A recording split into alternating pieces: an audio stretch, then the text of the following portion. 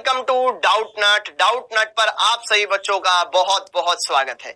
उम्मीद है आप सभी बच्चे एकदम बढ़िया हैं, एकदम अच्छे से और बढ़िया सारी बातें समझ रहे हैं, हर एक बात को अच्छे से क्लियर कर रहे हैं ओके तो बच्चों, आज हम बात करने वाले हैं यहाँ पर पी ब्लॉक के नेक्स्ट लेक्चर के बारे में, जो कि है बच्चों, आपका लेक्चर नंबर नाइन अच्छे से आपको इस लेक्चर को देखना है, हर एक बात को अच्छे से क्लियर करना है, जिससे कि आपको कोई दिक्कत ना हो, कोई प्रॉब्लम ना हो।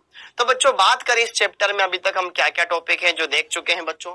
तो बात की जाए तो हमने सबसे पहले इस चैप्टर में परिचय देखा कि एक बेसिक पी ब्लॉक के बारे में क्या क्या इन्फॉर्मेशन हमारे पास होनी चाहिए। पी ब्लॉक में कौन कौन से तत्व पाए जाते हैं कौन कौन से वर्ग पाए जाते हैं, और हमने यहाँ पर किस तरीके से पहले हमने यहाँ पर ये नाइट्रोजन परिवार फिर उसके बाद ऑक्सीजन परिवार, फिर हेलोजन अक्रिय गैसें।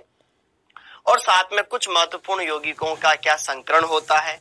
ठीक है, उनका जल अपघटन कैसे होता है? तो वो सारी बातें हमने यहाँ पर देखी। उम्मीद है ये सारी बातें आपको अच्छे समझ में आई होगी बेटा। ओके? आपको इनको अच्छे से रिवाइज करना है, अच्छे से इनको समय दीजिए, ताकि आप अच्छे से पी ब्लॉक में अपनी पकड़ को मज़बूत कर सके। ओके?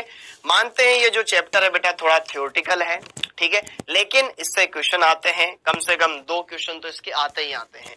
तो इस चैप्टर का अच्छा वेटेज होता है, और थोड़ा इसमें केमिकल बॉन्डिंग का कॉन्सेप्ट भी यूज़ होता है। तो आप बढ़िया से इस चैप्टर को अच्छे से क्लियर कर सकते हैं। जिन बच्चों का केमिकल बॉन्डिंग बढ़िया है, वो भी इसको अच्छे से कवर कर सकता है। ओके? तो ये सारी बातें आपको इसमें देखने को मिली। तो अब आज के लेक्चर में हम क्या करेंगे? बच्चों, आज के लेक्चर में हम लगाएँगे क्वेश्चंस ओके बढ़िया से क्वेश्चंस हम लगाने वाले हैं। अच्छे से हम प्रैक्टिस करेंगे क्वेश्चंस की ओके और सारे क्वेश्चंस बच्चा प्रीवियस ईयर में पूछे गए हैं। और इन क्वेश्चंस को लगा करके आप ये देख सकते हैं कि हाँ क्या हम हमारा लेवल उस लेवल तक ला चुके हैं कि जिससे कि हम इन क्वेश्चंस को लगा सकें। क्या हमारी प्रैक्टिस ऐसी हो चुकी है जो हम इन क्वेश्चंस को कर सकें ओके बढ़िया क्वेश्चन है। अच्छे सारे क्वेश्चन को आप लगाइएगा, अच्छे से क्लियर कीजिएगा। तो पहला क्वेश्चन बच्चों, आपकी स्क्रीन पर ये रहा। हाँ जी H four P two O five H four P two O six H four P two O seven में फॉस्फोरस की ऑक्सीकरण अवस्थाएँ हैं। बहुत ही सिंपल क्वेश्चन है, बहुत ही प्यारा क्वेश्चन है, आप इजीली इस क्वेश्चन को कर सकते हैं। बताओ बच्चों ओके हर एक क्वेश्चन अपने आप में खास है, अहम है। तो आप बताइए। और अगर आपको इनके नाम भी पता है तो बहुत बढ़िया बात है। एक बार आप ट्राई कीजिए, फिर मैं बताता हूँ। Okay? Option number one, two, three या four. H four P two O five H four P two O six H four P two O seven कैसे बनाते हैं? ठीक है? ट्राई करें।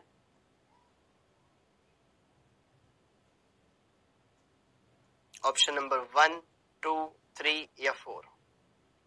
सोचिए, बहुत ही अच्छे क्वेश्चन से बैठाइए संरचना बना लो, या एक्स मान करके हल कर लो। बताया है ना मैंने आपको? ओके तो बच्चों, बात करें यहाँ पर इन क्वेश्चंस के बारे में। तो जो पहला कंपाउंड है H four P two O five पहले तो मुझे इस कंपाउंड का नाम बताओ। H four P two O five क्या होता है? जब हम एच थ्री पीओ थ्री के दो अणु लेकर के जल निकालते हैं ना बेटा, ये बनता है। इसका नाम है क्या है? पायरो फॉस्फोरस अम्ल। This is your pyro phosphorus अम्ल। ठीक है? ओके तो पायरोफोस्फोरस अम्ल की संरचना भी आपको आनी चाहिए। तो जरा देखो, पायरोफोस्फोरस अम्ल में क्या होता है? मैंने आपको पहले ही बताया है कि फोस्फोरस अपनी जो ऑक्सी अम्ल होते हैं, उसमें क्या बनाता है बच्चा? एक डबल बोन्ड तो बनाता ही बनाता है, ठीक है? ओके, बाकी यहाँ पर एक ओ OH होता है, एक एच होता है बच्चा। सेम इसी तरीके से दूसरे फोस्फोरस में होता है बेटा। एक ओ OH और एक एच ओके? अभी जरा देखो, कितने ऑक्सीजन हो गए? चार हो गए, एक ऑक्सीजन दोनों के बीच में सेतु का कार्य करता है। ये इसकी संरचना हो गई। अब यहाँ पर सिंपल सी आप सारी बातें यहाँ पर समझ सकते हैं। एक्स मान के या तो इसको हल कर लें तो भी आप इस पर आवेश निकाल सकते हैं। ओके हाँ जी। और जरा मैं पहले यहाँ पे संरचनाएँ बना देता हूँ सबकी। H four P two O seven H four P two O seven इसे क्या कहा जाता है बेटा? पायरो पायरो फोस्फोरिक अम्ल। पायरो फोस्फोरिक अम्ल इसे कहा जाता है। पायरो फोस्फोरिक अम्ल इसे कहा जाता है। इसकी संरचना में क्या होता है बेटा? एक डबल बोन ओ एक डबल बोन ओ इधर रहता है। दो ओ OH इस पे जुड़े होते हैं, दो ओ OH इस पे जुड़े होते हैं। ठीक है? और यहाँ पर बंद होता है एक्स सेतु बंद पी ओ पी ठीक? अच्छा ये पायरोफोस्फोरिक अम्ल हो गया। बहुत ही सिंपल है, सारे कॉन्सेप्ट बहुत अच्छे से हैं। अगर आप इनको क्लियर कर सके तो बहुत ही बढ़िया है। अब बच्चों, बात करें यहाँ पर।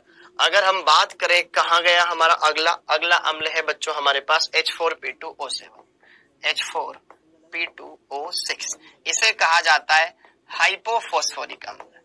हाइपोफोस्फोरिक अम्ल। हाइपोफोस्फोरिक अम्ल। जिसमें यहाँ पर यह सेतु बंद नहीं आता है। P double bond O O H ठीक है, यहाँ पर ओ एच फिर यहाँ पर ओ फिर यहाँ पर यहाँ पर डायरेक्ट पीपी बॉन्ड आता है। डायरेक्ट पीपी बॉन्ड इसमें पाया जाता है।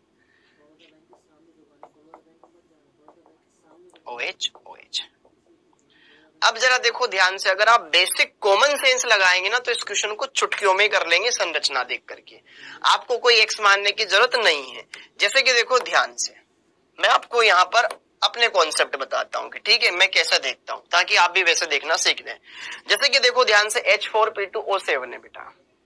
जब परमाणु अलग अलग आएँगे तो ही कोई ना कोई चेंज आएगा, लोचा आएगा। अच्छा जी, ठीक है। यहाँ पर अगर हम बात करें, यहाँ पर बात करें ऑक्सीजन है। ऑक्सीजन है। चलो पहले एक्स मान करके मैं आपको इनको बताता हूँ। अगर मैं इस H four P two O seven के अंदर H four P two O seven के अंदर एक्स मान करके हल कर लू। चार हाइड्रोजन है। एक हाइड्रोजन की प्लस वन होती है। ठीक है एक्स टू एक्स हो जाएगा। ठीक है, यहाँ पर सात ऑक्सीजन है, एक ऑक्सीजन पर माइनस टू आवेश होता है, बराबर ज़ीरो यहाँ से हल कर लोगे एक्स बराबर कितना आ जाएगा? चौदह चौदह माइनस चार कितना हो जाएगा आपके पास? दस दस बटे दो, पाँच। पाँच ऑक्सीकरण अवस्था प्लस पाँच इस पर आवेश प्लस पाँच इस पर आवेश। ठीक है? ओके तो ये पाँच आ गया, जिसमें ये पहला वाला ऑप्शन बन गया। ठीक है? ओके अब जरा देखो ध्यान से, अगर मैं इसको एक्स मान करके हल कर लू तो चार हाइड्रोजन है, एक पर प्लस वन आवेश होता है प्लस टू एक्स प्लस पाँच गुना माइनस दो बराबर ज़ीरो। तो यहाँ पे दस दस माइनस चार कितना होता है? छह छह बटे दो कितना होता है? प्लस तीन। प्लस तीन आवेश इस पर आ जाएगा। और अगर हम इस पर, इसकी बात करें तो यहाँ पर इसको एक्स मान के हल कर लो तो चार प्लस वन, ठीक है, दो फोस्फोरस है टू एक्स हो जाएगा, छ माइनस दो बराबर ज़ीरो कर दो तो बारह माइनस चार होता है, आठ आठ बटे दो हो जाता है, प्लस चार। खत्म। ठीक है तो वैसे ही ऑप्शन नंबर एक बन चुका है। ठीक है? लेकिन मान लो आप कभी यहाँ पर कंफ्यूज हो रहे हैं तो आप इन पर जरा देखो ध्यान से। ये पी डबल बोन्ड ओ है, इस पर प्लस पाँच आवेश कैसे आया होगा? अब जरा देखो ध्यान से ये पी डबल बोन ओ है तो फॉस्फोरस और ऑक्सीजन में विद्युत ऋणता किसकी ज़्यादा है? ऑक्सीजन की ज़्यादा है तो दो, इस पर माइनस दो दो बंद बना रहा है तो इस पर माइनस दो लगा दो, ठीक है? अगर यहाँ पर आप समझना चाह रहे हैं तो इस पर कितना आया होगा? प्लस दो आया होगा, इसकी वजह से इस पर प्लस दो आवेश आया, ठीक है? क्योंकि यहाँ पर बेटा जी फोस्फोरस की तुलना में ऑक्सीजन ज़्यादा विद्युत है। अब जरा देखो, ये ऑक्सीजन जुड़ा होगा तो इसकी वजह से इस पे प्लस वन आया होगा। ये ऑक्सीजन जुड़ा होगा, इसकी वजह से प्लस वन आया होगा। ये ऑक्सीजन जुड़ा, इसकी वजह से प्लस वन आया। तो ओवरऑल चार्ज कितना है? प्लस पाँच। इसी तरीके से उसमें प्लस पाँच आया। ठीक है? ओके अब जरा देखो ध्यान से, यहाँ पे प्लस चार आया। पीपी फोस्फोरस फोस्फोरस दोनों समान विद्युत ऋणता वाले हैं। दोनों पर आपस में कोई आवेश नहीं आएगा। इसकी वजह से प्लस टू आया, इसकी वजह से प्लस वन आया, इसकी वजह से प्लस वन आया। Plus four plus four okay? और जरा देखो ध्यान से, यहाँ पर कितना आवेश आता है इस पर? यहाँ पर जरा देखो ध्यान से, अगर हम बात करें ऊपर वाले प्लस इसकी वजह से प्लस टू इसकी वजह से प्लस वन इसकी वजह से प्लस वन अब जरा देखो हाइड्रोजन से ज़्यादा विद्युत ऋणी होता है फॉस्फोरस तो इस वजह से माइनस वन आएगा। ठीक है तो plus one minus one cancel हो जाएगा तो प्लस तीन ही आवेश ओवरऑल इस पर रहेगा प्लस तीन इस पर रहेगा। ठीक है? कॉन्सेप्ट समझ में तो ऐसे भी आप कर सकते हैं। बढ़िया से आप इन क्वेश्चंस को समझ सकते हैं। अगर कॉन्सेप्ट क्लियर है, नहीं तो एक्स मान के हल कर लो। ठीक है? ओके जी। अब आगे बढ़ते दोनों तरीके मैंने आपको बता दिए। हाँ जी, उम्मीद है आपको पहला वाला तरीका ही बढ़िया लगा होगा। हाँ अब चलो अगला प्रश्न।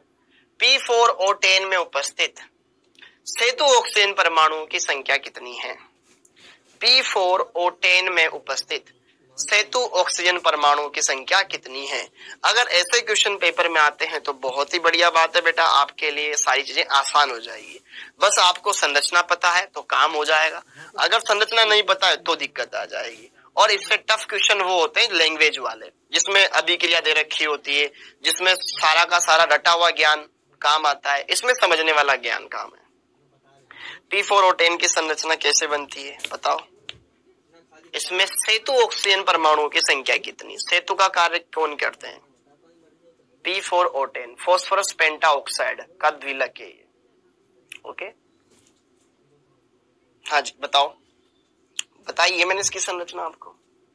चार, दो, तीन, पाँच या छ हर एक क्वेश्चन को, हर एक कॉन्सेप्ट को बढ़िया से क्लियर करेंगे तो आप कर लेंगे। जैसे कि देखो ध्यान से, अगर हम बात करें यहाँ पर पी फोर ओटेन तो बेटा P four O ten phosphorus penta oxide है, जिसके अंदर मैंने आपको बताया था पीओपी बंद पाया जाता है।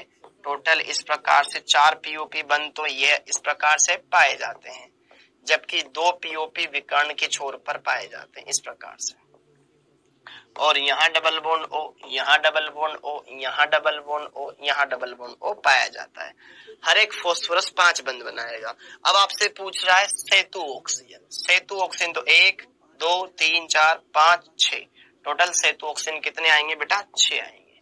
ओके अगर आपसे इसमें पूछ लेता P double bond O P double bond O कितने हैं बेटा? चार है।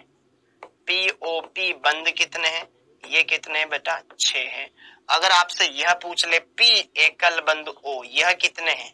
बता सकते हो? तीन तीन तीन तीन। कितने हो जाएँगे? टोटल बारह। इस प्रकार से आपको ये पता होना चाहिए। ठीक है? कोई दिक्कत नहीं आएगी, कोई लोड नहीं है। अच्छा आपसे पूछ ले, फोस्फोरस का संकरण। फोस्फोरस का संकरण क्या आएगा? एसपी थ्री एसपी थ्री क्योंकि जरा देखो ये सिग्मा, यह सिग्मा यह सिग्मा यह सिग्मा, पाई। इसका भी एसपी थ्री इसका भी एसपी थ्री ओके?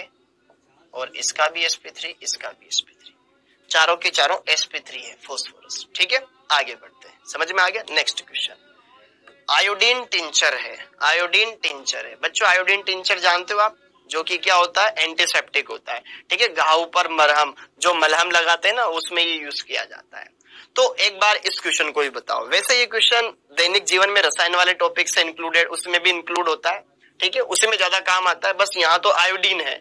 उस वजह से इसको यहाँ पर लिया गया है, ठीक है? बट बताओ इसका आंसर क्या होता है? क्या जानते हो आप इसके बारे में? आयोडीन टिंचर क्या होता है? ऑप्शन नंबर वन क्या यह आई टू का जलीय विलियन है? आई टू का जलीय के आई में विलियन है। आई टू का एल्कोहलीय के आई में विलियन है या के आई का जलीय विलियन है। तो पूरा याद रखने वाला क्वेश्चन हो गया। ओके हाँ जी। बताइए, क्या हो सकता है इस क्वेश्चन का आंसर आपके according option number one two three या फोर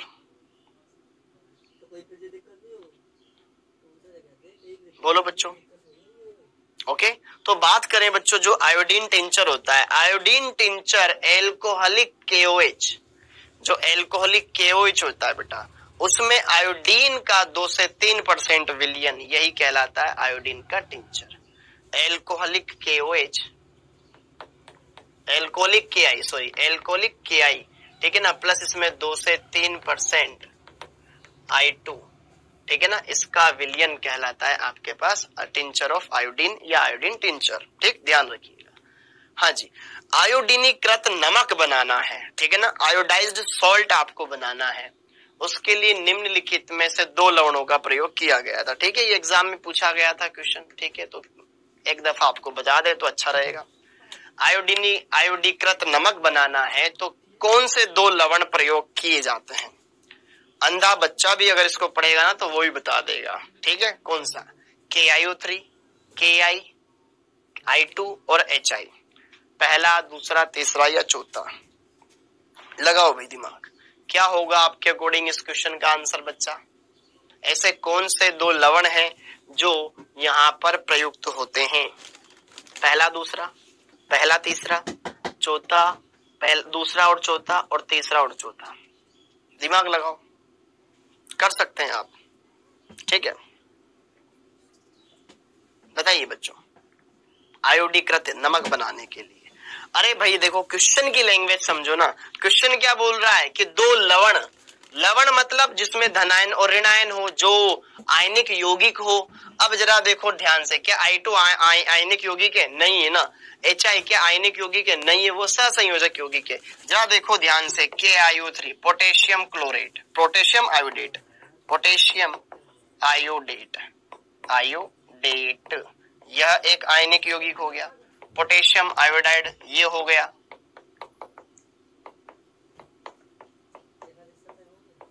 ठीक है? तो इस तरीके से आप इनको इजिली ध्यान रख सकते हैं। पक्की बात?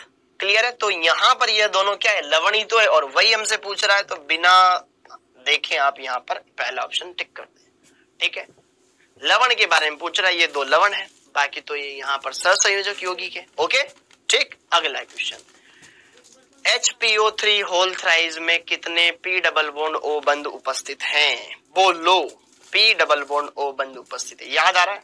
संरचना वाला पार्ट ठीक है? जिन्होंने यह पढ़ रखा है, उसके बारे में आ रहे हैं, क्योंकि ज़्यादातर क्वेश्चन केमिकल बॉन्डिंग से रिलेटेड इसमें पूछे जाते हैं। और अगर अभिक्रिया में संबंधित या थियोटिकल पढ़ लिए, पूछ लिए तो फिर आपके लग जाएँगे अच्छे से, ठीक है ना? फिर आप अपने कॉन्सेप्ट अगर स्ट्रोंग नहीं करेंगे तो फिर आपको प्रॉब्लम आएगी, ठीक है? हाँ जी तो आपको सारे कॉन्सेप्ट बढ़िया से क्लियर करने हैं, हर एक बात को अच्छे समझने तो कोई दिक्कत नहीं आएगी, ठीक है? हाँ जी एच थ्री में कितने पी डबल बोन्ड ओ बंद उपस्थित हैं, ये आप बताइए बच्चा। H PO three whole thrice क्या होता है सोचो। ओके और इनऑर्गेनिक में तो अगर आप एनसीआरटी uh, आपकी सफिशियंट होती है बेटा जी एनसीआरटी आपकी सफिशियंट होती है। लेकिन अगर ऐसे कोई क्वेश्चन आ जाए तो एनसीआरटी में तो इनके बारे में ज़्यादा बखान नहीं है ना।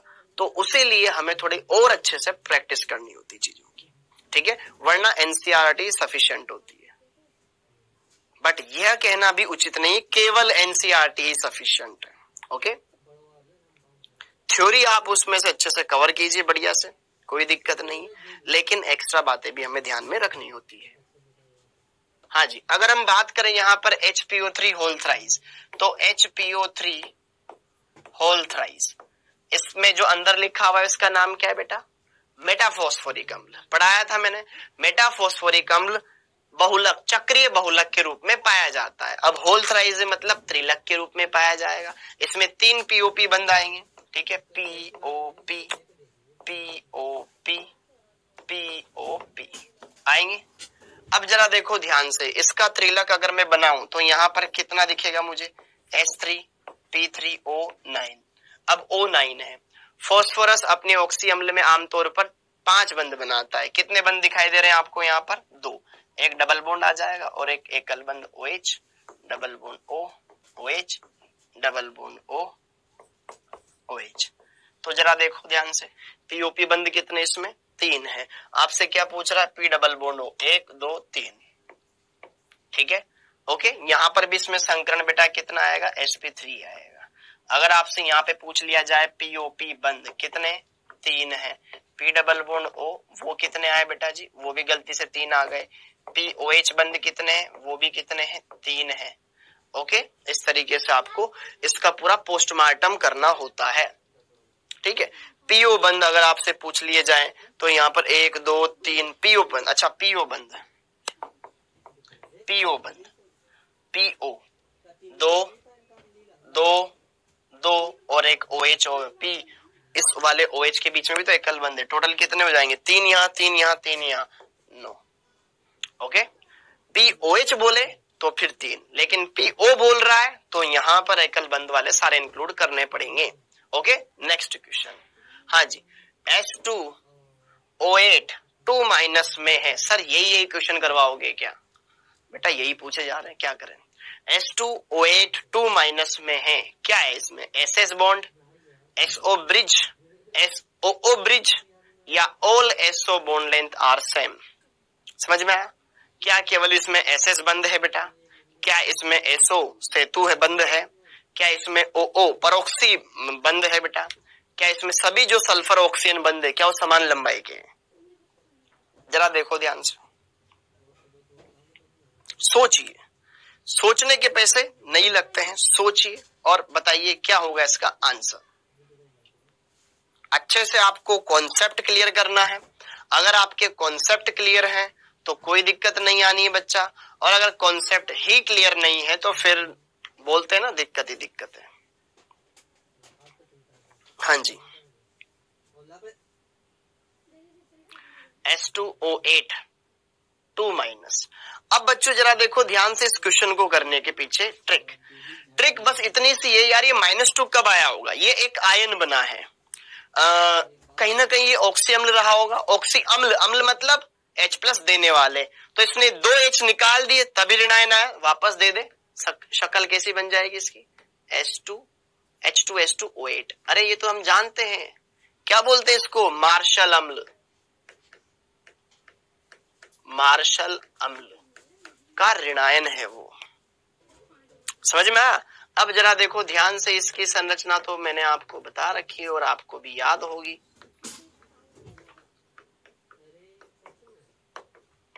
अब जरा देखो इसमें क्या है। क्या है? बोलो, क्या है इसमें? इसमें सर परोक्सी बंद है। इसमें क्या है बेटा? परोक्सी बंद है। अच्छा परोक्सी बंद है। क्लियर हो जाएगा? अच्छा मुझे बताओ, इसमें सल्फ़र पर ऑक्सीकरण अवस्था क्या है? जरा बढ़िया क्वेश्चन आ गया अच्छा क्वेश्चन आ गया। अब बच्चों, जरा देखो ध्यान से। आप इसको एक्स मान करके हल करो।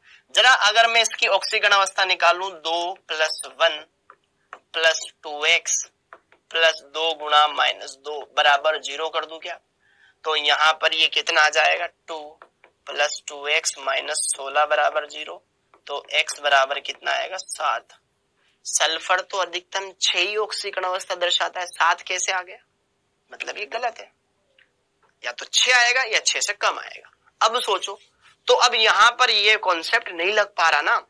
परोक्साइड बंद यहाँ पर। परोक्साइड बंद परोक्साइड बंद। मतलब दो ऑक्सीजन पर केवल minus one minus one charge है।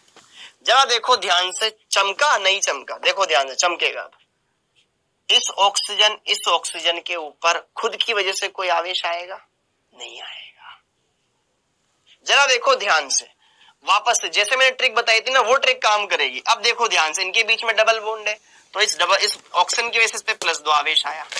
इस ऑक्सीजन की वजह से पर फिर प्लस दो आवेश आया। इसकी वजह से प्लस वन आया। इसकी वजह से प्लस वन आया। कितना आवेश आया टोटल प्लस छ इस पर देखो, इस ऑक्सीजन की वजह से प्लस वन, ऊपर वाले की वजह से प्लस टू, इस वाले की वजह से प्लस वन, इस वाले की वजह से प्लस टू। तो ओवरऑल प्लस छ इस पर है। ओवरऑल प्लस छ इस पर है। इन दोनों ऑक्सीजन पर माइनस वन माइनस वन है। ओ माइनस ओ माइनस यही तो होता है तुम्हारा परोक्साइड आयन।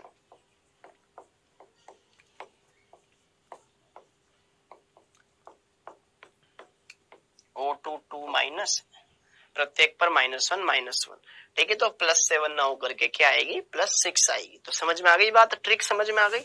तो ऐसे ना करके ऐसे आवेश निकालते हैं कूल है या नहीं है? ठीक है, इस तरीके से देखना। बात पते की है? ओके ठीक है, अब जैसे कि देखो ध्यान से, यहीं पर ये एक और मैं चीज़ समझाना चाहता हूँ, जैसे कि H two H four O six ये क्या है?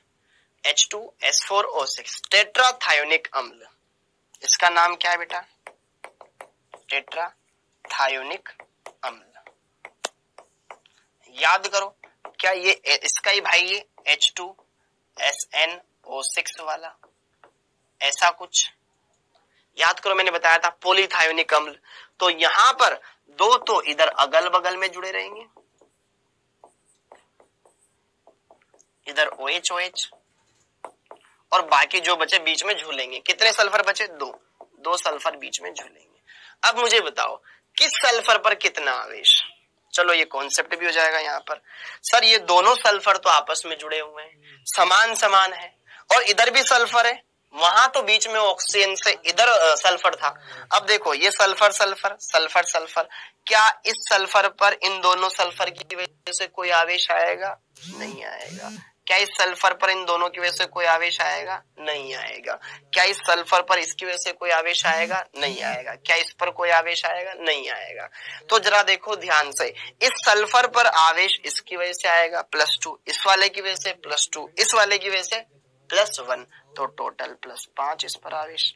इस पर प्लस पाँच आवेश। ऊपर वाले की वजह से, नीचे वाले की वजह से प्लस टू प्लस टू। इस वाले की वजह से माइनस वन। तो इस वजह से इस पर प्लस पाँच, इस पर भी प्लस पाँच।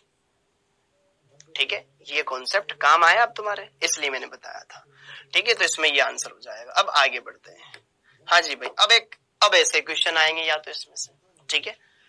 सल्फाइडों का भर्जन करवाया। ठीक है? सल्फाइड आयनों का भर्जन करवाया। तो आपको एक्स गैस प्राप्त होती है। आपको एक्स गैस प्राप्त होती है।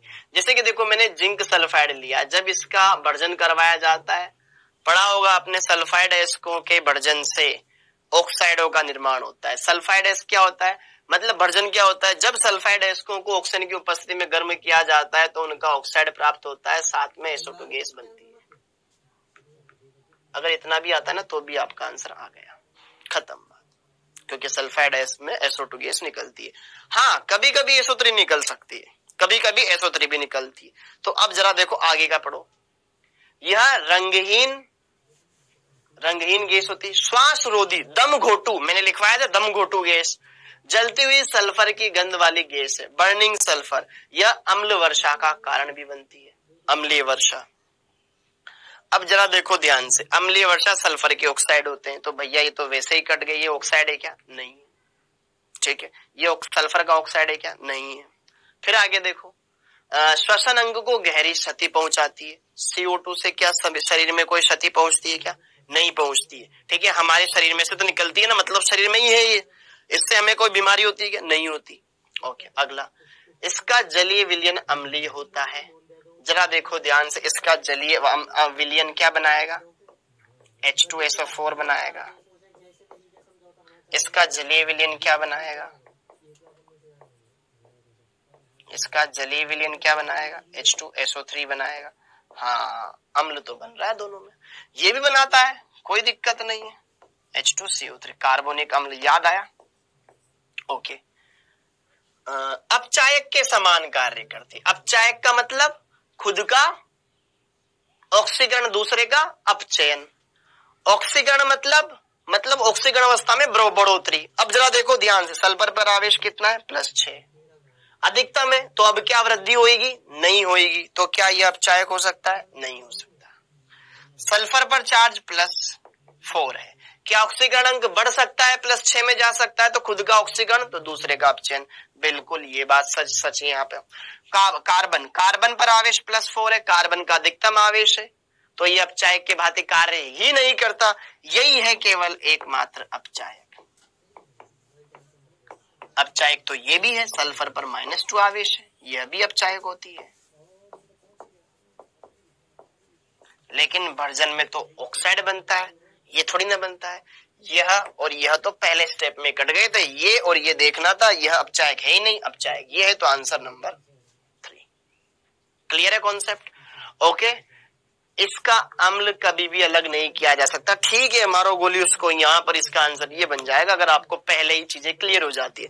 पहली दूसरी लाइन में सारी चीज़ें क्लियर हो जाती है बेटा। बाकी तो मतलब कितना ही बड़ा दे दिया जाए इसको।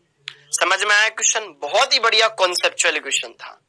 मैंने कहा इस चैप्टर में दो ही तरह के क्वेश्चन बनते हैं बेटा। ती, तीन तरह के मान लो ज़्यादा ज़्यादा। एक तो संरचना और केमिकल बॉन्डिंग के ऊपर अभिक्रिया के ऊपर और या फिर ऐसे लैंग्वेज वाले क्वेश्चन सिंपल ठीक है, ये भी बढ़िया क्वेश्चन था। अब अगला क्वेश्चन विरंजक चूर्ण में अनुपस्थित होता है। लगाओ दिमाग। विरंजक चूर्ण में अनुपस्थित होता है। विरंजक चूर्ण में क्या नहीं पाया जाता? तो विरंजक चूर्ण का भैया, हमें तो पता है ना, सूत्र C A O C L whole twice dot C A C L two dot C A O H whole twice dot two H two O ये इसका क्या होता है? पूरा फॉर्मूला होता है।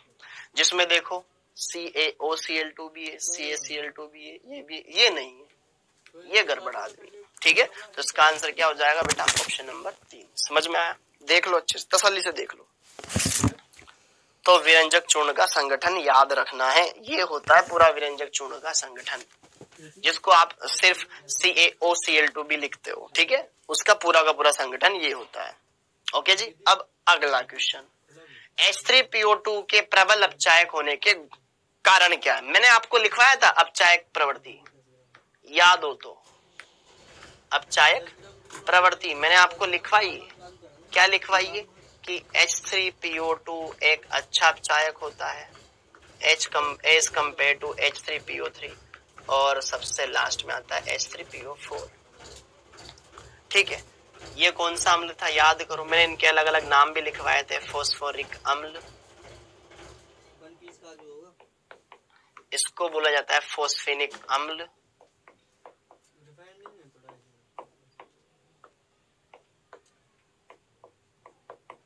या हाइपो फोस्फोरस अम्ल। फोस्फोरस अम्ल। बोला जाता है बेटा। ओके, और यहाँ पर एच थ्री पीओ फोर इसे क्या बोला जाता है? फोस्फोरस अम्ल। फोस्फोरस अम्ल। अच्छा इसका आप ऐसे ही एक नाम और लिख सकते हो, जैसे इसको फोस्फिनिक इसको फोस्फोनिक भी बोलते हैं। फोस्फोनिक अम्ल। चिंता मत करो, इसका कोई दूसरा नाम नहीं है, ठीक है? ओके हाँ जी। पक्की बात, अरे हाँ इसको आप एक नाम और बोल सकते हो फॉस्फोरिक को। ऑर्थोफोस्फोरिक अम्ल भी बोल सकते हैं, कोई दिक्कत नहीं।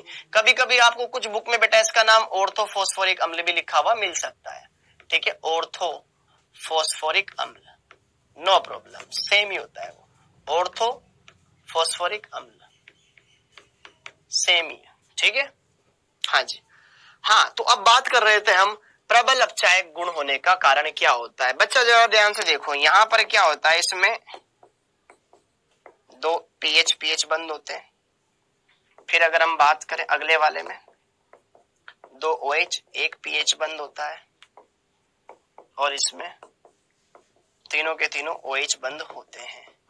तो जरा देखो ध्यान से इसके अम्लीय सामर्थ्य का कारण क्या होता है बेटा? इसमें एक ओ OH और दो ओ OH, दो पीएच बंदों की उपस्थिति। इसकी अम्ल, इसके अपचायक गुण को बढ़ाती है। इसके अपचायक गुण को बढ़ाती है। क्या बेटा? दो ओ OH और एक पीएच बंद की उप मतलब सॉरी सॉरी एक ओ OH और दो पीएच बंद की उपस्थिति इसकी क्या बढ़ाती है? अपचायक सामर्थ्य को बढ़ाती है। अपचायक गुण को बढ़ाती है। क्यों? क्योंकि इसकी वजह से इस पर प्लस वन आवेश आता है। इस पर प्लस तीन आवेश आता है। इस पर प्लस पाँच है। अब ये तो अपचायक हो नहीं सकता। क्यों? क्योंकि तो ऑलरेडी उच्च ऑक्सीकरण अवस्था में कितना ऑक्सीकृत होएगा। इसके पास बराबर संभावना है ऑक्सीकरण होने की। बराबर। इसमें भी जा सकता है, उसमें भी जा सकता है। ठीक है? तो सबसे ज़्यादा प्रबल अपचायक ये होएगा, इसका ऑक्सीकरण सबसे ज़्यादा बढ़ सकता है। ऑप्शन नंबर तीन। क्लियर है? अगला क्वेश्चन नीचे दिए गए कथनों में से कौन सा गलत है? कौन सा कथन गलत है? ओ एन एफ़ सम इलेक्ट्रॉनी है। ओ एन टू माइनस के साथ। अब जरा देखो ध्यान से। आ, इस क्वेश्चन को समझो। थोड़ा केमिकल बॉन्डिंग लगा हुआ है। ओ एफ़ टू फ्लोरिन का ऑक्साइड है क्या पढ़ाया आपने? C L two O seven perchloric अम्ल का एनहाइड्राइड है क्या? सोचो। ओ थ्री अणु मुड़ा हुआ है क्या? सोचो। और बताओ। बहुत ही आसान कॉन्सेप्ट है। अगर आपको आता है तो बढ़िया बात है, नहीं आता है तो गलत बात है। सोचिए बच्चा। लगाइए दिमाग इसमें, क्या हो सकता है इसका आंसर? आओ जरा देखें। O N F oxygen nitrogen fluorine मिलकर के कोई यौगिक बन रहा है। कुछ इस तरह का। O double bond N single bond F इसमें इलेक्ट्रॉन काउंट कर लो। सम इलेक्ट्रॉन ही है क्या? टोटल इलेक्ट्रॉन देख लो। ऑक्सीजन के पास कितने होते हैं? आठ। नाइट्रोजन के पास कितने होते हैं? सात। और फ्लोरिन के पास कितने होते हैं? नौ। नौ और सात होते हैं सोलह सोलह। और इसमें चौबीस इलेक्ट्रॉन ठीक है? इसमें देखो। ओ टू एन माइनस ऐसे कोई संरचना ये बन रही है? ठीक है। तो इसमें जरा देखो। ऑक्सीजन के पास कितने इलेक्ट्रॉन है? आठ। दो है, इसलिए दो से गुणा कर दिया। सात। और इस माइनस वन की वजह से प्लस वन तो कितना आ गया? सोलह और सोलह, चौबीस इलेक्ट्रॉन। चौबीस इलेक्ट्रॉन इसके पास भी चौबीस इलेक्ट्रॉन इसके पास भी है। समझ में? मतलब ये तो सम इलेक्ट्रॉन ही है यार, पहला तो सत्य है। जरा देखो ध्यान से C L two O seven perchloric अम्ल का एनहाइड्राइड है क्या? ये बोलो। क्योंकि हमें पता है C L two O seven को जल में डालते हैं क्या बनता है? परक्लोरिक अम्ल बनता है H C L O four याद है? इसमें प्लस सेवन आवेश होता है। ओ थ्री अणु, मुड़ा हुआ अणु होता है क्या? हाँ जी, बिल्कुल, ये बेंट होता है कुछ इस तरीके से। ठीक है? होता है कि नहीं होता? है बेंट शेप होता है बेटा, मुड़ा हुआ। ओके ये भी सत्य है, ये भी सत्य है। तो असत्य क्या है? ये है। क्या ये फ्लोरीन का ऑक्साइड है? ऑक्साइड आयन क्या होता है बेटा? ओ टू माइनस ये होता है, जबकि हमें पता है ओ एफ़ टू में तो ऑक्सीजन पर तो प्लस टू आवेश है। क्या ये इसका ऑक्साइड है? नहीं है। ये ऑक्सीजन का फ्लोराइड है। ये बोलना सही है। ठीक है? तो ये गलत है और जो कि गलत है, वही हमसे पूछा गया था। समझ में आया क्वेश्चन तरीका समझ में आया? अगला क्वेश्चन फॉस्फोरस की न्यूनतम ऑक्सीकरण अवस्था किसमें है? फॉस्फोरस की न्यूनतम ऑक्सीकरण अवस्था किसमें है? ये तो खाए जा रहे हैं सर क्वेश्चन बार बार यही यही पूछे जा रहा है। फॉस्फोरस की न्यूनतम ऑक्सीकरण अवस्था किसमें लगाओ दिमाग बच्चों, सोचो, क्या हो सकता है यहाँ पर ऑक्सीकरण अंक? H three PO two H three PO three H four P two O seven H three PO three अगर जिन्होंने पता है, वो क्वेश्चन को फटाफट से कर लेंगे। अभी अभी मैंने बताया था H three PO two H three PO two में फॉस्फोरस पर प्लस वन आवेश आता है। एच थ्री पीओ थ्री में एच थ्री पीओ फोर में फॉस्फोरस से प्लस पाँच आवेश होता है। H four P two O seven pyrophosphoric अम्ल। बोलने की कोशिश करो प्रैक्टिस करो इनकी। ठीक है? अरे यार, द्विलक लो ना। एस थ्री पीओ फोर को दो रेप्टे मारो, इसमें से जल निकालो और यहाँ से क्या होगा? आपके पास बन जाएगा H four P two O seven बनेगा कि नहीं बनेगा? बनेगा। तो यह है। तो यहाँ पर बेटा जी आवेश कितना आता था? याद करो, चौदह मतलब ये ऑक्सीजन में ऋणावेश होता है माइनस टू तो चौदह माइनस का, चौदह माइनस के में चार प्लस गया तो पाँच। दस दस बटे दो, पाँच। इस पर आवेश कितना आ जाएगा? प्लस पाँच। ठीक है, इस पे आवे, एस थ्री पीओ थ्री पे प्लस वन। प्लस थ्री होता है, सबसे कम इस पर हो जाएगा। पायरोफोस्फोरिक अम्ल फॉस्फोरिक अम्ल फॉस्फोरस और हाइपोफॉस्फोरस। ठीक है? ओके, अगला क्वेश्चन। सल्फ़र सल्फ़र बंद अनुपस्थित है। सर, यही यही क्वेश्चन आते हैं क्या? बेटा, पिछले सालों में पूछे गए प्रश्न, भरमार पूछी गई है। H two S two O seven H two S two O three H two S two O five H two S two O six अब आप ये नहीं बोल सकते कि सर आपने ये नहीं करवाया। अगर केवल एनसीआरटी को देखते तो क्या ये सब कर पाते? आप नहीं कर पाते। ठीक है? इसलिए। हाँ जी ट्राई करो। किसमें सल्फ़र सल्फ़र बंद अनुपस्थित है? जिनको पता है वो तुरंत देखते हैं आंसर लगा दिया होगा। जिनको नहीं पता है, वो सोच रहे होंगे कि कैसे न कैसे तो हम करें। अच्छा मुझे पहले वाले का नाम बताओ। ओलियम, पायरो, सल्फ्यूरिक अम्ल। दूसरे वाले का नाम बताओ। H2SO4 में से जब एक ऑक्सीजन हटा करके एक सल्फ़र बढ़ा दिया था सल्फ़र H2SO4 का नाम सल्फ्यूरिक अम्ल। सल्फ़र बढ़ाया ऑक्सीजन हटा के थायो सल्फ्यूरिक अम्ल। बोला था मैंने।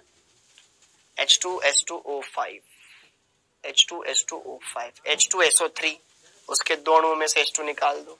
सल्फ्यूरस अम्ल का पायरो अम्ल, ये पायरो सल्फ्यूरस अम्ल H2S2O6 देखा देखा लग रहा है?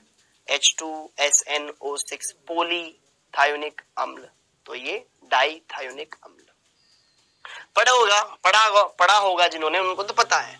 H2S2O7 ये क्या है बेटा? ओलियम है और ओलियम में तो ऐसा बल होता है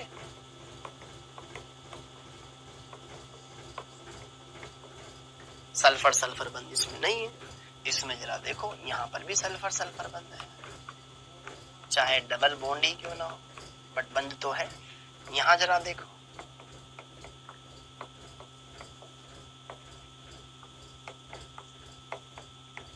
यहाँ पर भी है। ये डाइथायोनिक अम्ल। और यहाँ पर भी होता है। एक सल्फ़र इसमें छह बंद बनाता है, और ये छह बंद बन गए। सॉरी छह कहाँ बने? यहाँ डबल बॉन्ड आता है। एक सल्फ़र इसमें चार बंद बनाता है। कुछ इस तरीके से। तो इसमें भी है, इसमें भी इसमें भी, इसमें नहीं है। सल्फ़र सल्फ़र बंद ठीक है? तो पहला ऑप्शन हो जाए अगला, निम्न की अम्लता का सही क्रम बताओ। निम्न की अम्लता का सही क्रम बताओ। एच सी एल ओ बोलो बच्चों, इनकी अम्लता का सही क्रम क्या होगा? हर एक क्वेश्चन को अच्छे से समझना है। उसके आंसर तक पहुँचना है आपको अच्छे से। तो बात की जाए अम्लता के सही क्रम के बारे में तो कैसे देंगे इसका आंसर? सोचो और बताओ। ओके? क्या होगा इस क्वेश्चन का आंसर?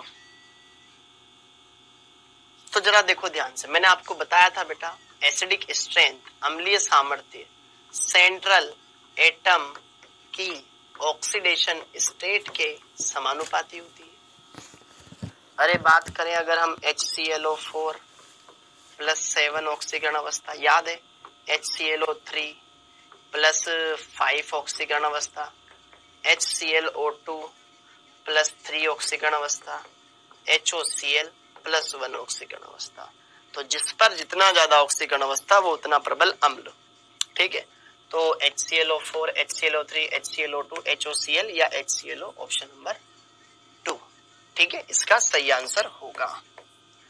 कॉन्सेप्ट को ध्यान में रखो। मेमोराइज करो कॉन्सेप्ट आप अच्छे से इन क्वेश्चंस को लगा लेंगे। कोई भी भारी क्वेश्चन नहीं है। अगर आपने कॉन्सेप्ट बढ़िया से कर रखा है, अगर आप केवल लिखे ही लिखे जा रहे हो, तब भी कुछ नहीं होएगा। लिखने के साथ साथ उनको समझो, उनको याद करो रिवाइज करो तब आपके दिमाग में चैप्टर बैठेगा। और तब इन क्वेश्चंस को कराने का कोई औचित्य है।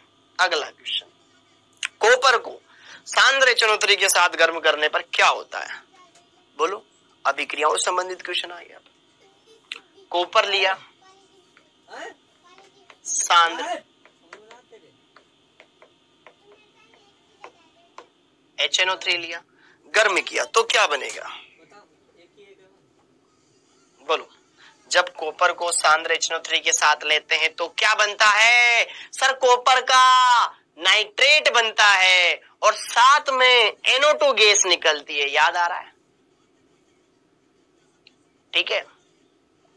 सांद्र के साथ चाहे बेटा जी धनात्मक अपचयन विभव वाली धातुएँ हो या ऋणात्मक अपचयन विभव वाली धातुएँ हो, दोनों का समान उत्पाद बनता है। इसमें भी नाइट्रेट बनेगा। नाइट्रेट आयन क्या होता है? एनओ थ्री माइनस और कोपर पर आवेश प्लस टू होता है इसमें। ठीक है? और यहाँ पर एनओ टू गैस निकलेगी। तो कोपर नाइट्रेट बनेगा, साथ में एनओ टू बनेगी। कोपर नाइट्रेट, साथ में एनओ टू कहा गई? ऑप्शन नंबर एक। ये रही प्लस टू ऑक्सीजन अवस्था। ठीक है? ये एनओ टू गैस यहाँ पे निकलती है। देख लो वहाँ पे, झूठ बोल रहा हूँ तो। और अगर तनु लेता तो? अगर मैं यहाँ पर इसकी अभिक्रिया तनु एच टू एसओ फोर तनु एच एन थ्री के साथ करवाता बेटा तो यहाँ पर कोपर नाइट्रेट बनता। साथ में एनो गैस बनती। ये पता होना चाहिए। ठीक है, फिर तो कोई दिक्कत ही नहीं है।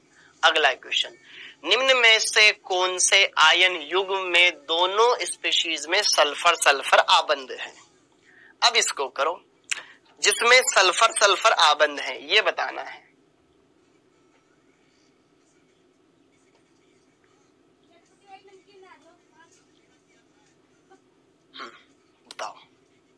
देखो, मैंने कर भी लिया दिमाग में इस क्वेश्चन को। अब आप बताओ, क्या होगा इस क्वेश्चन का आंसर सोचिए बच्चों।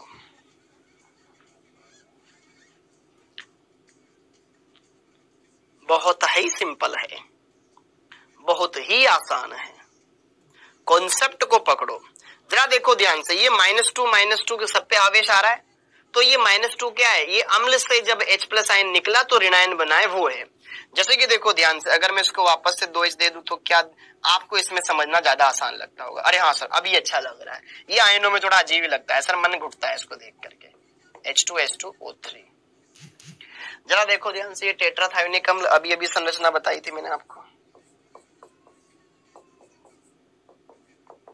दो सल्फ़र बीच में झूलते हुए मिलते हैं इसमें। ये आपके पास थायोसल्फ्रिक अम्ल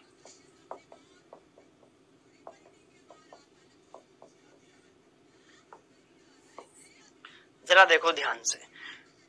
ऐसे बना लिया, ऐसे बाकी बनाओ। ठीक है? और देखो उनको कि किसमें सल्फ़र सल्फ़र आबंद है। ओहो, इसी में तो है। देखो, sulphur sulphur sulphur sulphur sulphur sulphur आबंद आ जाएगा, इसी में आ जाएगा। एक बार बाकी को भी चेक कर लो बेटा, क्या उसमें है या नहीं है। ट्राई तो कर लो। ठीक है ना? हर बार सुनी हुई बातों पे विश्वास मत करो, खुद करके देखो। H two S two O seven H two S two O eight H two S four O six H two S two O seven H two S two O seven H two S two O three मैं क्या कर रहा हूँ? इनमें hydrogen जोड़ करके सोच रहा हूँ। ठीक है? आप भी ऐसे सोचो। अगर आइनों में ना समझ पाओ तो। ठीक है? बोलिए बच्चा। कर सकते हैं या नहीं कर सकते हैं? बहुत ही इंपॉर्टेंट टॉपिक है बेटा जी। आपका यह जो आपको समझना है, अच्छे से समझना है इत्मीनान से समझना है और बढ़िया करना है। ओके बोलो।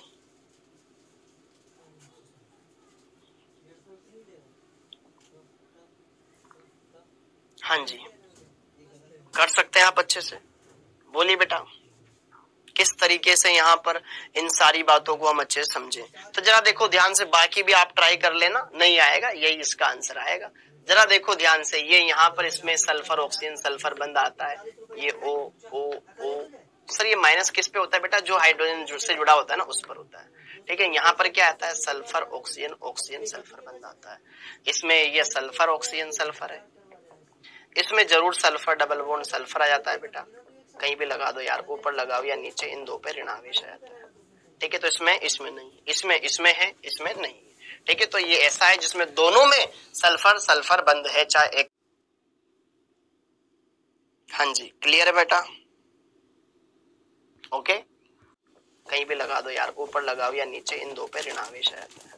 ठीक है तो इसमें इसमें नहीं, इसमें इसमें है, इसमें नहीं ठीक है तो ये ऐसा है जिसमें दोनों में सल्फ़र सल्फ़र बंद है, चाहे एकल बंद हो या डबल बंद हो। अगला क्वेश्चन फ्लोरीन का कौन सा ऑक्सी अम्ल बनता है?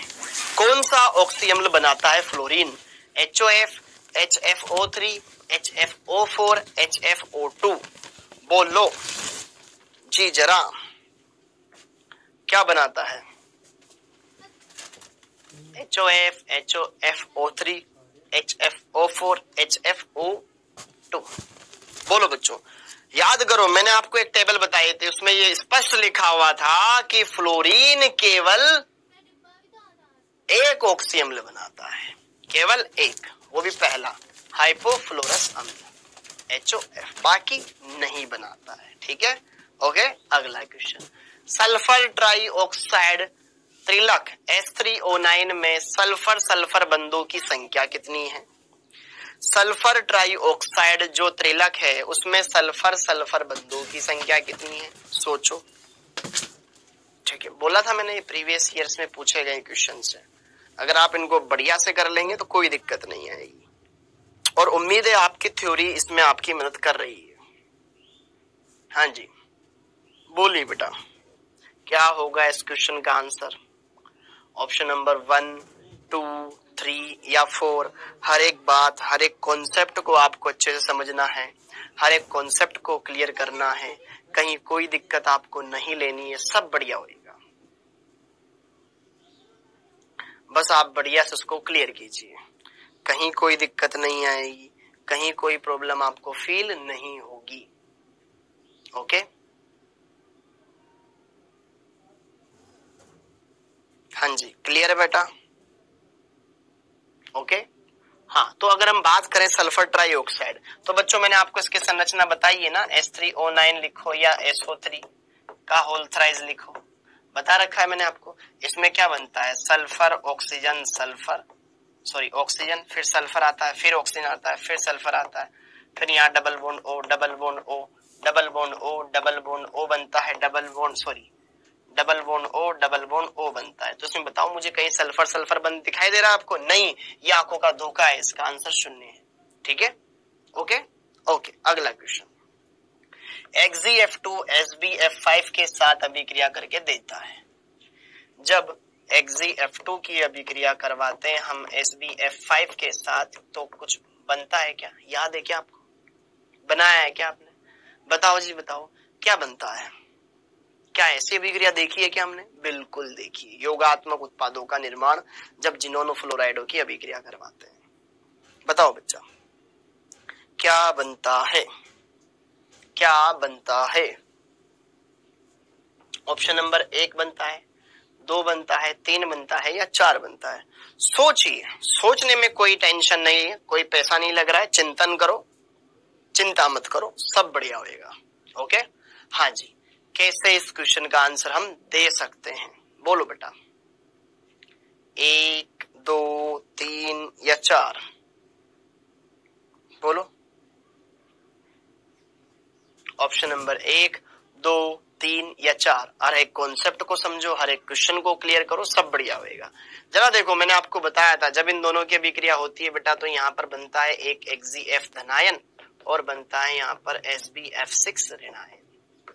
अच्छा आपसे पूछ ले, इस ऋणायन का, इस ऋणायन में जो केंद्रीय परमाणु है, उसका संकरण देखो। अरे, संकरण निकालना है। तो संकरण निकालने के लिए क्या करना है? मुझे वैलेंस इलेक्ट्रॉन काउंट कर लेना है total total valence electron count कर लो। एस बी किसमें आता है? नाइट्रोजन परिवार में। न्यूजीलैंड पाकिस्तान ऑस्ट्रेलिया सब एंटीमनी एस बी के लिए आता है इसमें। बायतम कोष में पाँच इलेक्ट्रॉन है बेटा। छह फ्लोरिन है। एक फ्लोरिन के बायतम कोश में सात होते हैं। माइनस वन की वजह से एक इलेक्ट्रॉन बढ़ गया। तो सात छंग बयालीस और बयालीस और छह, अड़तालीस अड़तालीस बटे आठ आठ से बड़ा इसलिए। ठीक है तो छह आएगा, छह का मतलब S P three D two संकरण आएगा। बिना दिमाग पे लोड लगाए अपन ने कर लिया। ठीक है S B S P three D two संकरण। अब कोई पूछे, सर, इसमें संकरण बताओ। अबे, ये तो दो ही परमाणु दो परमाणु तो सीधे ही जुड़ेंगे ना। उसमें संकरण कम से कम दो बन तो बने अगल बगल में। ठीक है तो इसका आंसर हो जाएगा ऑप्शन नंबर एक। अगला प्रश्न। कॉलम एक और कॉलम दो के बीच में कंपैरिजन करो और इनको बताओ, ठीक है, कि इसमें क्या क्या बातें हैं जो हो सकती है पॉसिबल ठीक है? केरोज अम्ल पोलीथायोनिक अम्ल पोलीसल्फ्यूरिक अम्ल और थायोसल्फ्यूरिक अम्ल। हर एक क्वेश्चन बढ़िया से करना है बेटा जी और अच्छे से आपको इसको निभाना है। बताओ, कॉलम एक और कॉलम दो में क्या रिलेशन हो सकता है? सोचिए। हाँ जी, सोचिए, पहले साइड में हो जाता हूँ अच्छे से टाइम लगेगा इसमें। आप टाइम लीजिए।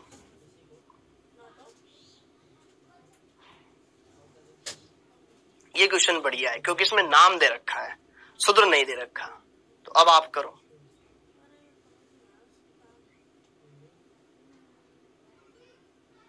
एक, दो, तीन, चार। Match the column match the column ठीक है ना? ए में इनमें से कौन सा बंद है बी में कौन सा बंद है सी में कौन सा बंद है डी में कौन सा बंद। है सर, पहले तो हमें यही नहीं पता इनके सूत्र क्या है। वही पिक्चर खत्म। ठीक है? और अगर ऐसे बच्चे फिर भी इस क्वेश्चन को अटेम्प करते हैं, जिनको नहीं पता, उनको संभवतः माइनस वन मिलेगा। और जिनको थोड़ा पता है, वो कर सकते हैं। और जिनको नहीं पता है, उनको छोड़ना ही उचित है इस क्वेश्चन को। हाँ जी। ट्राई करो बेटा। क्या आप कर सकते हैं इस क्वेश्चन को? थोड़ा हिंट दे देता हूँ। केरोज एसिड, सुना है आपने? इसका जो नाम है परोक्सी सल्फ्यूरिक अम्ल है। कैसे बनाते हैं? ये आपको सोचना है, ठीक है?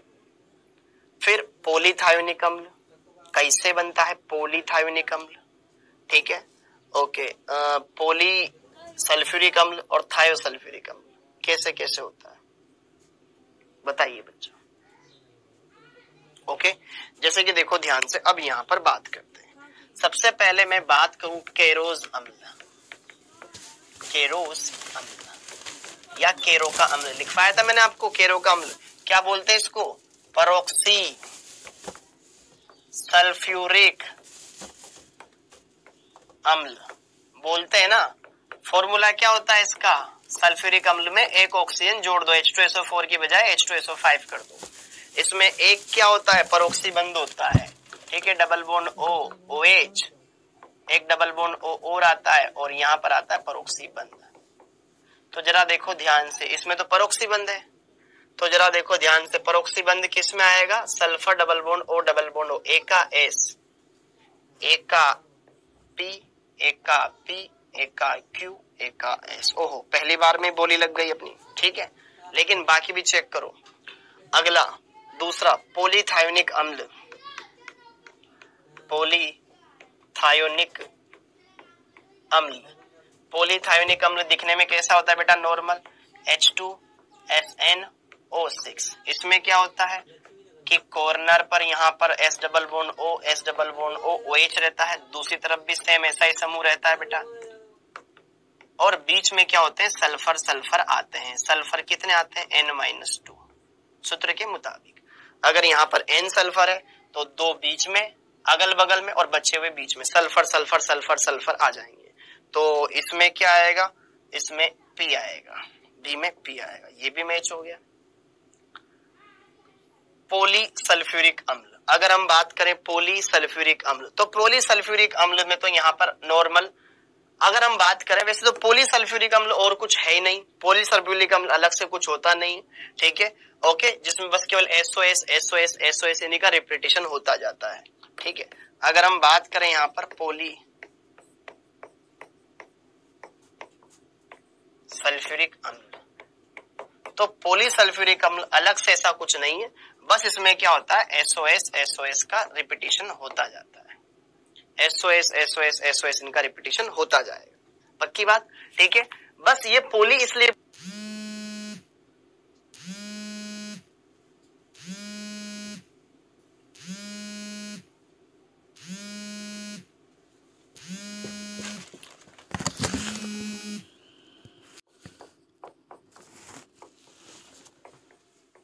प्लस दूसरा एच टू एस लिया।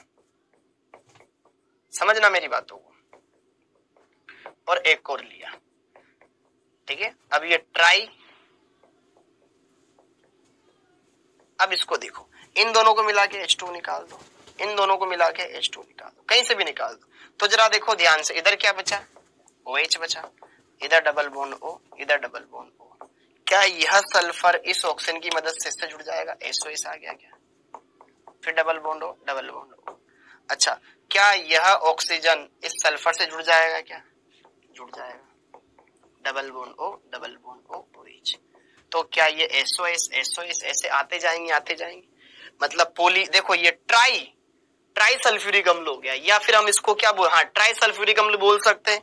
जब दो अणु जुड़ते हैं तो पायरो बन जाता है। फिर बाकी वो उसका सामान्य, वो इसका सामान्य नाम है और इसका जनरल फॉर्म ठीक है? तो यहाँ पर एक रेखीय बहुलक आपका बनता हुआ दिखाई देगा।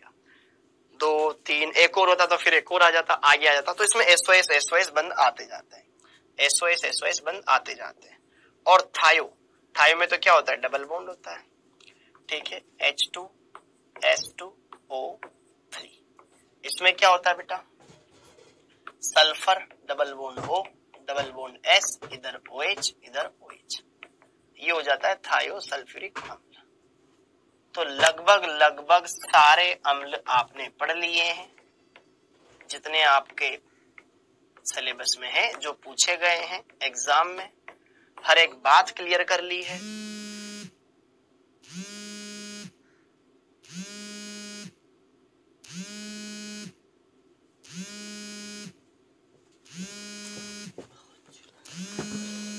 आने हैं।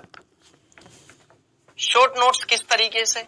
आप इसमें जितने भी संरचनाएँ आई ना, उनको अच्छे से बनाओ। उनके नाम लिखो, संरचनाएँ बनाओ, सूत्र याद होने चाहिए आपको, नाम याद होने चाहिए, चाहे ऑक्सी अम्ल हो, चाहे ऑक्साइड हो, चाहे नाइट्रिक अम्ल, कोई भी अम्ल है, उसके बारे में आप, पहले तो संरचनाओं के बारे में आपको नॉलेज होनी चाहिए। जब तक आपको संरचनाओं के बारे में नॉलेज नहीं होगी तो आपका काम नहीं चल बहुत सौ को ऑक्सीकरण अंक लिखना नहीं आता है। वो आपकी प्रॉब्लम वीक वीक पॉइंट है। वीक पॉइंट को स्ट्रोंग बनाना है। ताकि आपको कोई प्रॉब्लम ना आए। आप हर एक चीज़ को अच्छे से क्लियर कर सके। संरचनाओं का ज्ञान आपको बढ़िया से होना चाहिए। रिएक्शन अच्छे से लिख लिख करके याद करो। रिएक्शंस को जितना लिखोगे, उतना ज़्यादा याद होगी। इस चैप्टर को याद रखने का एक बेसिक सा तरीका क्या है बेटा? पता है, अभी आपने एक बार पढ़ लिया। एक बार और रिवीजन कर लो, अच्छे से इसको दिमाग से निकाल लो कि हाँ ये ये टॉपिक इसके बाद। एक एक सीक्वेंस बनाओ दिमाग में। कि जैसे कि नाइट्रोजन परिवार में हमने क्या पढ़ा? नाइट्रोजन परिवार के बारे में बेसिक जानकारियाँ, फिर उनके भौतिक गुणधर्म, फिर उनके बारे में रासायनिक गुणधर्म पढ़े, फिर उनके बारे में नाइट्रोजन के यौगिक देखे, फिर एन देखा, अमोनिया देखा, नाइट्रिक अम्ल देखा, फिर ऑक्सी अम्ल देख लिए, फिर फोस्फोरस पर हम आ गए फोस्फोरस के बारे में कुछ बेसिक पॉइंट देख लिए, फिर फोस्फोरस के कुछ यौगिक देख लिए फोस्फिन क्या होता है P S three PCl three PCl five क्या होता है, फिर फोस्फोरस के ऑक्सी अम्ल देख लिए, ऐसे सिक्वेंस बना। दिमाग में सीक्वेंस बन जाएगा ना तो आपकी चीज़ें बहुत आसान हो जाएगी। ऑक्सीजन परिवार में भी सेम यही चीज़ हेलोजन परिवार में भी सेम यही चीज़, और अक्रिय गैस है तो बहुत आसान था। तो इन चीज़ों को अगर आप अच्छे से अपने मन मस्तिष्क में बिठाते हैं तो आपको बिल्कुल भी तकलीफ़ नहीं होगी। सारी बातें आपको बखूबी अच्छे समझ में आएगी, और ये जो चैप्टर है, आप अच्छे से कवर कर सकते हैं। और दूसरी बात, एक बात और, जो पी ब्लॉक है बेटा, इस पी ब्लॉक के अंदर दो पार्ट होते हैं। ठीक है? आपको पता ही है एक पार्ट आता है आपके इलेवेंथ के अंदर, जिसमें आपका केवल वर्ग संख्या तेरह और वर्ग संख्या चौदह है। ठीक है? और यहाँ पर ये आपका ट्वेल्थ वाला पार्ट जिसमें आपका वर्ग संख्या पंद्रह, सोलह, सत्रह और अठारह है। ये ज़्यादा इंपॉर्टेंट ज़्यादातर क्वेश्चन इस पोर्शन से आते हैं, इससे कम आते हैं। अगर किसी बच्चे ने ये वाला पोर्शन नहीं पढ़ा है तो भी वो इसको समझ सकता है और दोनों पढ़ा है तब तो बहुत बढ़िया है, ठीक है?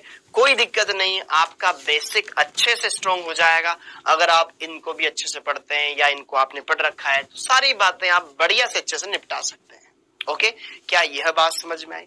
हर एक पार्ट इसका अहम है अच्छा है, बहुत खास है। ओके तो ये सारी बातें हमने देखी बच्चों। क्लियर है जी? तो ये सब चीज़ें हमने इस चैप्टर में अच्छे से कवर कर ली। ओके तो चलिए, अब हम कुछ और बातें हैं जो यहाँ पर देख लेते हैं। क्विज लगा लेते हैं अच्छे से। ओके और उनको अच्छे से समझ लेते हैं। ठीक है? वन मिनट के बारे में तो मैंने आपको ऑलरेडी बता ही दिया है कि इस चैप्टर में हमने क्या क्या पढ़ लिया, किस तरीके से सारी बातें कवर कर ली है। ठीक है? और किस तरीके से हमने क्वेश्चंस लगा लिए, सारी बातें ओके तो चलिए अब क्विज लगाते हैं, जिसका पहला प्रश्न आपकी स्क्रीन पर ये रहा। ठोस पीसीएल फाइव किस रूप में पाया जाता है? ठोस पीसीएल फाइव किस रूप में उपस्थित होता है? ऑप्शन नंबर एक, दो, तीन या चार? बताओ बच्चों, ठोस पीसीएल फाइव किस रूप में पाया जाता है? One two three four okay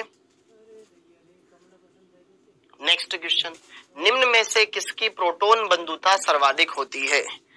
निम्न में से किसकी प्रोटोन बंधुता मतलब प्रोटोन से कौन लगाव ज़्यादा रखता है? सीधी सी बात।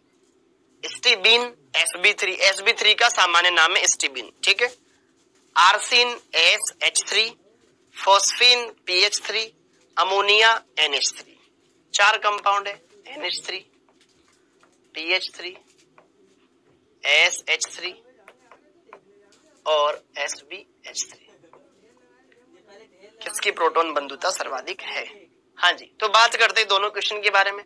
तो ठोस पीसीएल फाइव तो जो बेटा पीसीएल फाइव ठोस होता है ना, ये किसके रूप में पाया जाता है? यह पाया जाता है पीसीएल फोर प्लस धनायन, और साथ में यहाँ पर पाया जाता है पीसीएल सिक्स माइनस ऋणायन के रूप में। ठीक है? ओके तो इसका आंसर हो जाएगा ऑप्शन नंबर फोर हाँ जी प्रोटोन बंधुता मतलब प्रोटोन से लगाव कौन रखता है? जो आसानी से प्रोटोन को ग्रहण कर सके। शार जो जितना बढ़िया होगा ना मतलब क्षारीय सामर्थ्य के बारे में बात की जा रही है। और क्षारीय सामर्थ्य बेटा ऊपर से जाने पर घटती है। नाइट्रोजन, फिर फोस्फोरस वाला हेलाइड, हाइड्राइड, फिर ये आर्सिन, फिर ये स्टीबीन। इनके नाम ध्यान रखना। ओके तो इसका आंसर हो जाएगा ऑप्शन नंबर फोर क्लियर तो बच्चों, आज के लेक्चर में हमने क्या किया? आज के लेक्चर में हमने क्या लगाया? अच्छे से प्रश्न लगाए, अभ्यास प्रश्न हमने किए। बढ़िया से इनको समझा। हर एक प्रश्न अपने आप में अहम था। ओके जी? क्लियर तो इसी के साथ बच्चों, ये चैप्टर आपका यहीं पर एंड होता है। उम्मीद है ये सारी बातें आपको बढ़िया समझ में आई होगी, हर एक बात अच्छे से क्लियर हुई होगी। ओके इसी के साथ आप सभी बच्चों का बहुत बहुत धन्यवाद। जय हिंद।